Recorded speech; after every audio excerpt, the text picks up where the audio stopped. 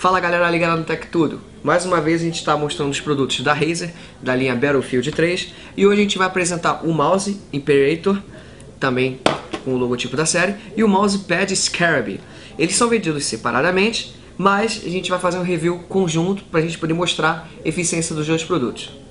O mouse Imperator ele também possui aquela adesivagem é, baseada na capa do Battlefield 3, só que diferente do teclado, ela possui uma superfície um pouco áspera que facilita o uso dele, não desliza tanto os dedos como no, no mouse tradicional. Além dos dois botões tradicionais, localizados na esquerda e direita, ele ainda conta com o scroll e conta com mais quatro botões opcionais. Esses quatro botões adicionais, eles têm a função básica de voltar e avançar uma página na web ou então de subir e descer um cursor num documento de texto ou até mesmo também numa página da web.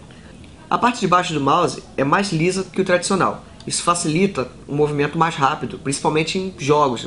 O próprio Battlefield, você precisa de uma agilidade para mirar ou então para se movimentar, o mouse te ajuda bastante. Junto com o mousepad, você consegue ter mais agilidade. Ele foi produzido para que sejam utilizados em conjunto.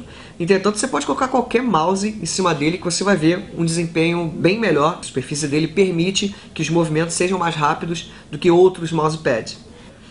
Um dos pontos negativos do mouse é que ele possui fio. Embora isso facilite no tempo de resposta, tem um fio espalhado pela sua mesa e além disso ele entorta com essa facilidade. E o outro ponto negativo é que assim como os outros produtos da linha, ele possui um preço bem acima dos mouses convencionais.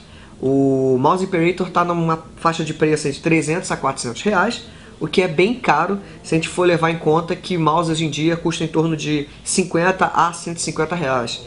Mesma coisa é o mousepad Scarab.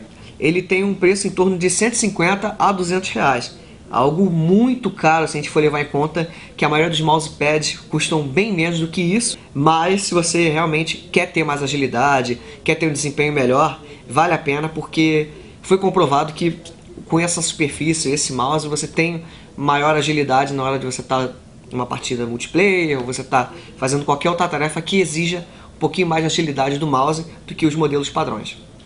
Bom, então é isso aí. Você conferiu mais dois produtos produzidos pela Razer, da linha Battlefield 3, e eu convido vocês a continuar ligado no Tech Tudo, a tecnologia descomplicada.